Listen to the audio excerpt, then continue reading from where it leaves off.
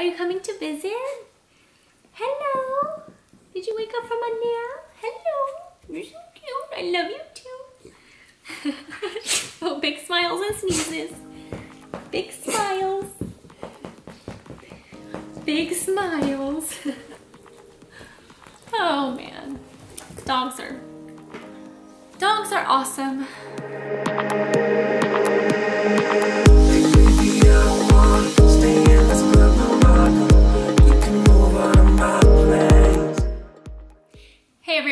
Welcome back to my channel. Today's video is going to be a Ulta haul first impressions review on the items that I got. Um, the, my previous video, I'll link it up here so you guys can watch it, um, was an Ulta haul and I got quite a few items and I actually had a request to do a review and first impression of the items that I received. So I've actually um, used some of the items that I bought, so it won't really be a first impressions, but I'll give you guys like a review on those items. So it's a lot to go through. So in order for this video to not be like 45 minutes long, we'll go ahead and we will just get started. Um, but first, don't forget to hit that subscribe button so you can see some more of these videos and don't forget to like it and let's go ahead and get started. So the first item is the, um, I'm not gonna hold these items up by the way because I would have to go through my whole house to find everything and get stuff out of the bathtub and I just don't wanna do that. So what I'll do is I will post um, like little pictures on the side of me somewhere around here so that you guys can see the actual item that I received. Okay, so the first one is the uh, Neutrogena Makeup Remover Wipes. And these are just something that I've received before, so I don't really have a first impression of them, but I do love these wipes. They're always so moist and damp and they get a lot of the makeup off and they always get like my um, eye makeup off as well. The next one is the Neutrogena Body Oil Light Sesame Formula. So this is just like a body oil like it says. It goes on after the shower when your skin is still damp and not dry. So I just put it on right after I get out of the shower and it just kind of leaves my skin nice and soft and a little bit oily. Um, I don't really have super dry skin, so that's nice, um, but it just, it has a nice scent to it. So that's why I use it. And I don't use it all the time, just occasionally, but I do actually really like it. The next item is the Neutrogena Rain Bath Shower and Bath Gel. So I use this as my body wash and I like it a lot. It smells really good. It suds up real nice. So I put it on a, um, so I put it on a loofah um, and I just, I don't use too much, maybe like a medium amount of the product. And then I put it on a loofah and then I sort of um, just start washing and it actually suds up really nice. So um, some body washes you get like once you start like scrubbing, they don't really like suds up and I don't really like that, but the stuff is really nice. It gets sudsy, it smells good. It doesn't leave my skin too dry. And yes, so my um, this item I haven't received before. So my first impression is that I do like it and I would definitely recommend it. And it's in a really big bottle. Um, it costs it costs a little bit. I think it was over $20. Um, actually here, let me get the price. Yeah, $23.99, but it's for like a huge 32 ounce bottle. So um, it's lasted me quite a while so far. Um, I've only gone through maybe like a fifth of the bottle, so I like it a lot. I'll definitely get it again as well. The next one is the Neutrogena Lip Moisturizer, and I've never received this item before, um, and I just use it actually at nighttime, so it's on my bedstand, and I'll use it before I go to bed because we leave the fan on and it can leave, like, my lips get dry throughout the night. Um, so it's like just sort of a nice uh, nighttime lip moisturizer that I use. Um, yeah. I can't really say too much about some of this stuff, but the next item is the MAC um, Prep and Prime Fix Plus. So this item I haven't used before either, um, so it's my first time. So first impressions, I do like it. It's the original, so it doesn't really have like too much of a scent to it, a little bit, but not too much. Um, so I use it sometimes to, um, like I'll get my brush, I'll put some eyeshadow on my brush and then I will spray the brush with Fix Plus and then that sort of like brings out the um, pigment and the sparkles um, in the eyeshadow a little bit more. So sometimes I'll use it for that. I'll also use it as a setting spray occasionally. Um, I haven't used too much of it, but so far it's it's pretty good. I mean, it does what everybody says it does and everybody loves it, so. The next one is the Estee Lauder Double Wear Stay in Place Foundation. I use this stuff all the time. It's probably my fifth bottle. Um, it's just, it's my favorite foundation. Excuse me. I haven't been able to find a foundation that is good for my skin, just like the Estee Lauder is. Um, I've tried, I feel like I've tried so many. Um, I've even tried that Tarte uh, Shape Tape foundation, and that stuff for me was absolutely terrible. I have oily skin, I would say, and I even bought the matte stuff, and the matte did nothing for my skin. I was just oily as crud, and it would like move around throughout the day and just become real blotchy and ugh, that stuff wasn't good. But anyway, the Estee Lauder, always my favorite. It's a staple. It's my go-to. It's my ride or die, if you want to say that. Um, I will just continue to buy it. it's really cool because they finally came out with their own pump for it.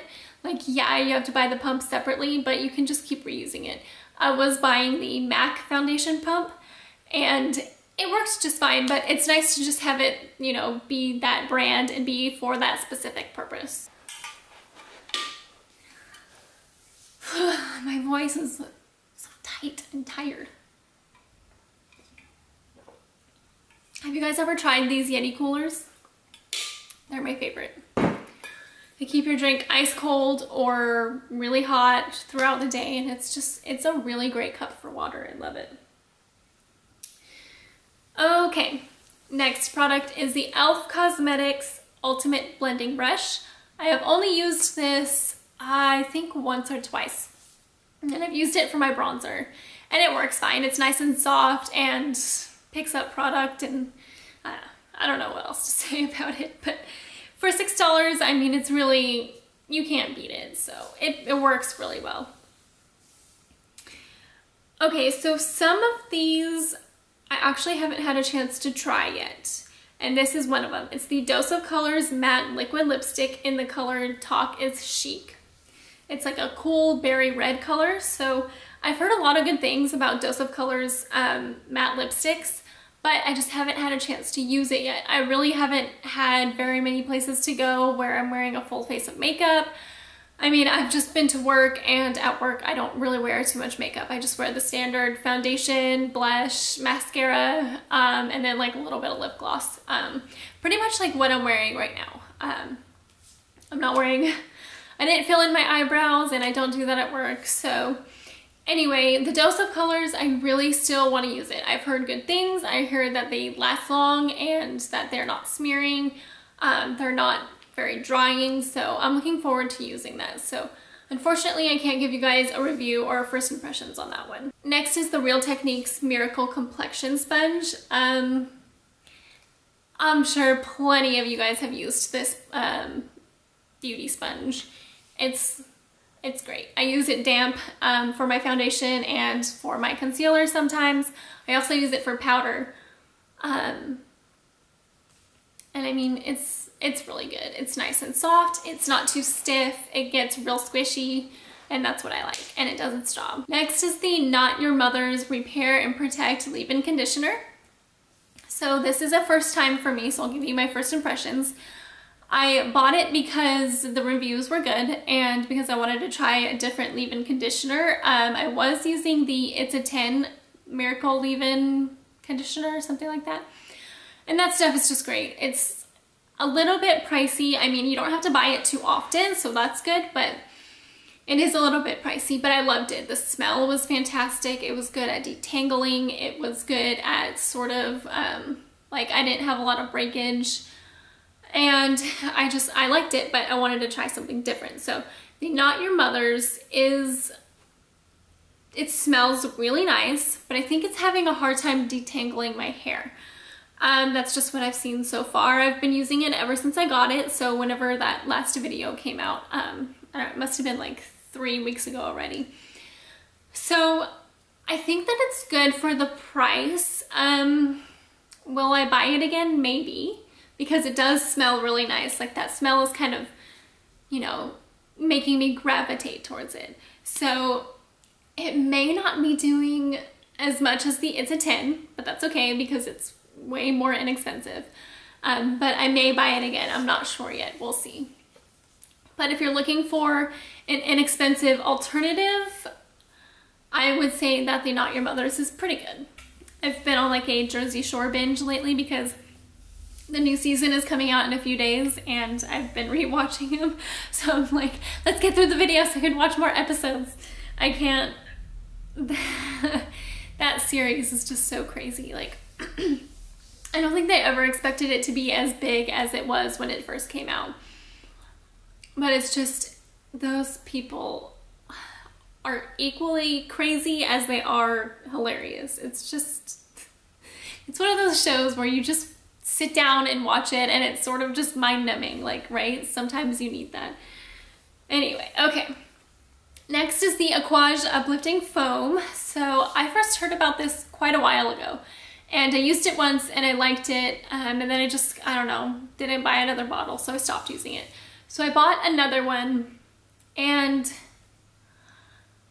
I don't know, it's probably that I don't know how to use the stuff because every time I, so like I'll spray it in my roots, I'll comb it through and then when I dry my hair, my hair gets real um, sticky kind of and a little bit oily. Um, it does do its job at first and it does uplift my hair and it gives it more volume, but I feel like I'm just not using it correctly. So if you have suggestions on how to use this product, let me know down in the comments. It would really help because I feel like it's just not doing what it's ultimately supposed to do.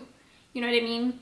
So I think that I just need to sort of change how I'm applying it maybe. I'm not sure. But yeah, let me know down in the comments if you have any suggestions for that product. Next is the Stila Stay All Day Waterproof Liquid Eyeliner. So this stuff I absolutely love. I don't wear liquid eyeliner too often, um, but when I did, I would I would use, let's see, I used the BH Cosmetics, I used the um, Sigma, and let's see, I think I used NYX as well, um, NYX or whatever. But this stuff just does not compare. I mean, it's so, so good. And for, let's see, $22, it's, it's not that bad. But it's just so simple. I loved it. So I actually have only used it once. Hello. Are you coming to visit? Hello. Did you wake up from a nap? Hello. You're so cute. I love you too. oh, big smiles and sneezes. Big smiles. Big smiles. oh man. Dogs are dogs are awesome. I don't know how some people just don't like dogs especially dachshunds. They're like endless laughs. They are just hilarious creatures. Huh, guys? Huh? Huh, guys? They're so funny, Bee. They're a good boy. Okay, I totally forgot where I was. Um, okay, so the waterproof liquid eyeliner, yes. It's so simple to use and it's just, I don't know. I mean, that's all that I can really say about it. It's like one swipe up for your wing and then sort of drag it over your eyelid and you're good to go. It's just like, it's hard to make a mistake with this stuff. I'm not sure. It's just, it's great. I heard that the Stila and the Kat Von D liquid eyeliner are both really, really good. So I'm so excited that I bought this finally because anytime I try and do my eyeliner, I always mess it up. And I feel like with this stuff, it's so hard to do that. So I definitely recommend it at $22 it's, you know, a little pricey, obviously more expensive than NYX um, and what all the other ones, BH Cosmetics. But I would say that it's worth it. And yeah, that's my first impression slash review on that one. The next one is the MAC Pro Longwear Paint Pot in the color Soft Ochre. So this stuff I've only used once as well. And it's another one where I feel like I need to sort of learn how to use because I applied it first with, how did I apply it? I think I applied it first with a brush, um, like a flat um, shader brush, and it just to me looked real blotchy and it sort of didn't go on very well. Um, and then I started to use my finger, sort of like dab it onto the eyelid. And that was like the same way. It just didn't really like go on as well as I've seen it go on other people. So I think that's another one that I need help with. Um, I'm not a professional, obviously. You know, we all need help somewhere in the makeup world, but yeah, so the, the paint pot. It's supposed to be like a base for your eyeshadow. So you, you know, put it on first and then put on some powder to sort of set it and then you're good to go. You need, you know, to start your eyeshadow. Um, but when I applied it, it was just real blotchy. I don't know, just didn't look too good on me. So I think I need some suggestions on how to apply that stuff as well. So first impressions, it's probably just user error. Next is the MAC lipstick in the color Velvet Teddy. So I got the little size and it was only 10 bucks, but I love this stuff. I think it looks okay on my skin tone. It's probably not the greatest for my skin tone, but I, I like it. And it lasts a really long time. Like it's not even a liquid lipstick, it's just regular lipstick and you can eat and you can drink and it comes off a little bit, but not at all like noticeable. So you can still go on throughout the day throughout the day and probably only have to apply it, I don't know, once. It's great. So I love the, the staying powder. I love the staying power of the MAC lipstick. Um, it's actually my first MAC lipstick, which is crazy. Um, I've heard a lot of good stuff about their brand and their brand of lipstick and so I'm glad that I got it. It's, it's great. So first impression, I would recommend it. If you're not sure what to go with, just go ahead and get the Velvet Teddy, the little one. It's only 10 bucks, so you can try it and not feel bad if you don't like it. So the Redken texturing paste, that's my husband, so I'm not really gonna go over that. He likes it. Um, the Body Shop Tea Tree Face Mask. So this was I paid 10.20 because I got it for the buy one, get one 40% off. But I use it occasionally. Um, I need to use it more often. But it's a, um, it's a mask, so you wash your face, you put the mask on for about 10 to 15 minutes. Um, it's like a tea tree, so you can feel it tingling and you can feel it working on your skin and doing its job. I really like it as a mask, it's great. Next is the Body Shop Coconut Body Butter. This stuff, I mean, it's body butter, so I can't really say too much about it. It smells nice. It leaves your skin feeling nice and soft. I don't have overly dry skin, so I think that the purpose of this stuff was for overly dry skin, um, so I don't use it that often, but I'll use it on Okay, so my camera is a butt head and it likes to turn off on me in the middle of filming sometimes. So if you noticed a change in like my position or lighting or anything, uh, that's the reason why. So lame. But anyway, I remember where I was at, which is not always the case, but the coconut body butter. So I don't have overly dry skin. Um, I just use it occasionally on my hands. I usually use it on my belly sometimes because I feel like my belly gets dry, which is like a little awkward. But um, yeah, I mean, I recommend it. It's, it's a nice body butter. It's thick, it smells good, it makes your skin soft. The Batiste dry shampoos, there's not much to say about those. I've used them before. The rose gold smells really nice. Um, they pretty much get the job done. They're inexpensive, so if you're looking for a good dry shampoo, I like that one. Okay, the Clinique Chubby Stick, uh, let's see. The Clinique Chubby Stick Sculpting Contour.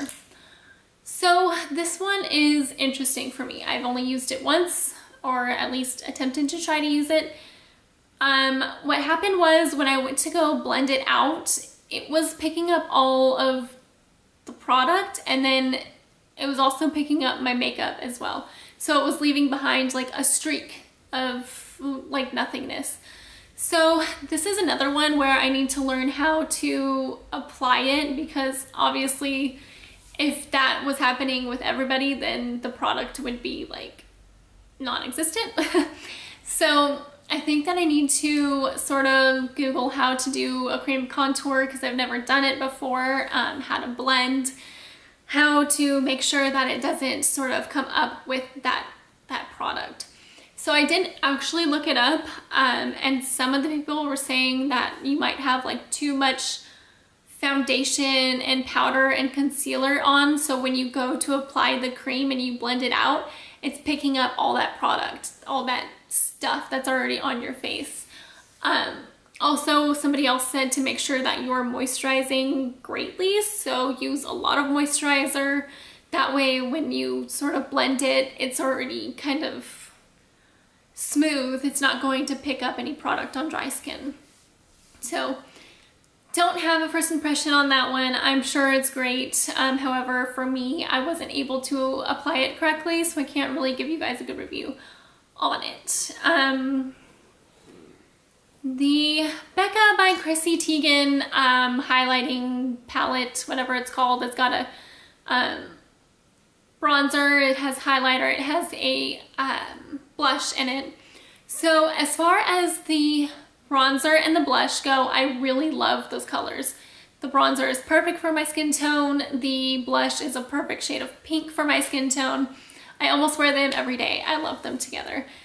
So the highlighter is a different story. I feel like the two colors in the palette are too dark on my skin. So when I apply them, they don't really look great, I guess. Um, I'm actually wearing the highlighter on my cheeks right now.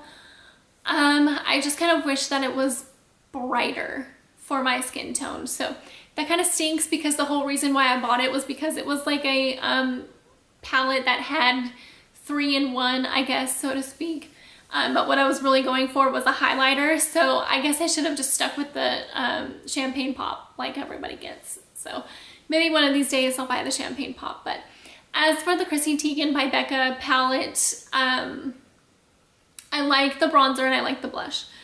But the highlighter I could probably do without. It just, for me, doesn't really work that great. But I do like those colors though. okay guys.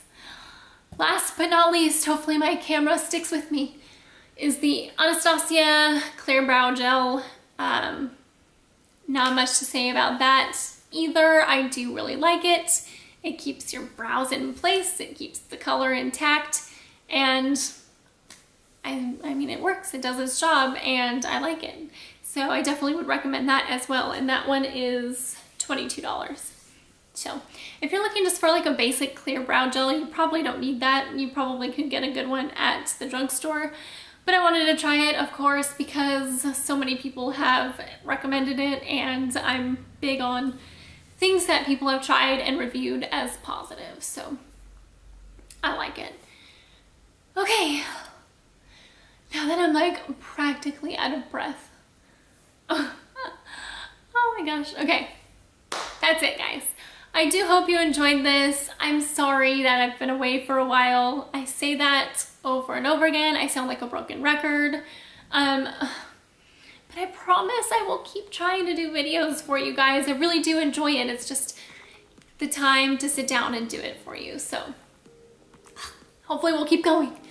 Anyway, I hope you enjoyed it. Thanks for sticking with me. And if you liked this video, don't forget to subscribe. And I will see you guys later. Bye.